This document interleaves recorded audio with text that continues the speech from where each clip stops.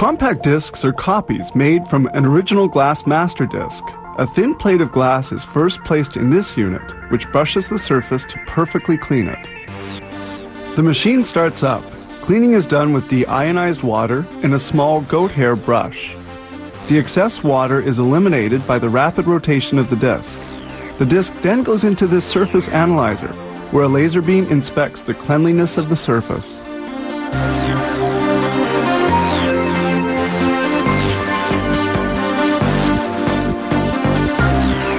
At this stage, two chemicals are applied, a primer and a photoresistant coating.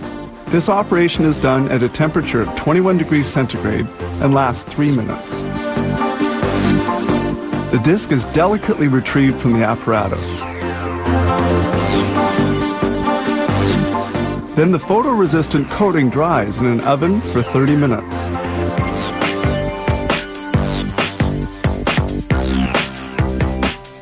This developer has two spouts. One applies deionized water and the other sprays a solution to develop the data etched on the glass. The information is now engraved on the disc. The disc is placed in this metal coating equipment. The next step consists of applying a thin coating of nickel and vanadium. This electroforming process results in the master from which discs will be made. The etched glass is immersed in a chemical solution for 70 minutes. Then the plated piece is removed, thus obtaining a die. This die is sent off for finishing. It is stamped out into the desired shape. The excess material is later recuperated for recycling. Following on, the compact discs will be fabricated from this master unit. Here we clearly see the stamping out technique.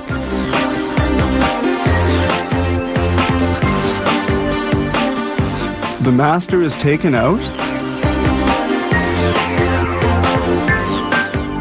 A technician peels off the film which protected the data etched onto the die. Following a visual inspection, the die is sent to the pressing department. The die is delicately installed in the mold, which will form compact discs.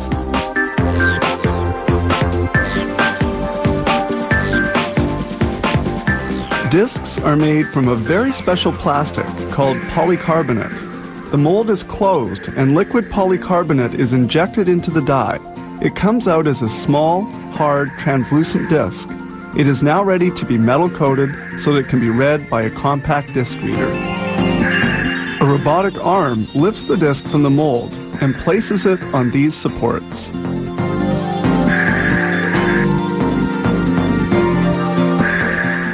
This metallizing process is extremely short and very simple, taking but a second.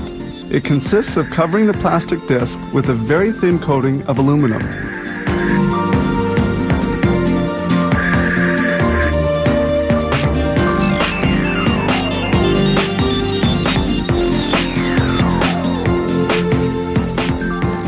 Here we see the inside of the mold where the aluminum coating is applied.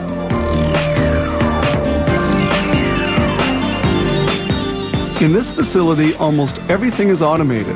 This allows for the production of over 100,000 compact discs per day.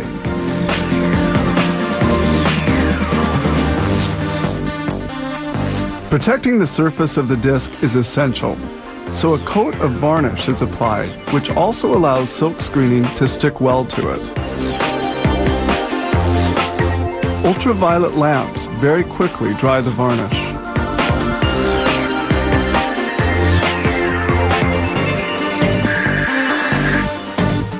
And here in the pressing room, they apply the label. This step is also very fast since the machine prints 70 discs in 60 seconds. Once the silk screening is completed, the finished discs leave for packaging.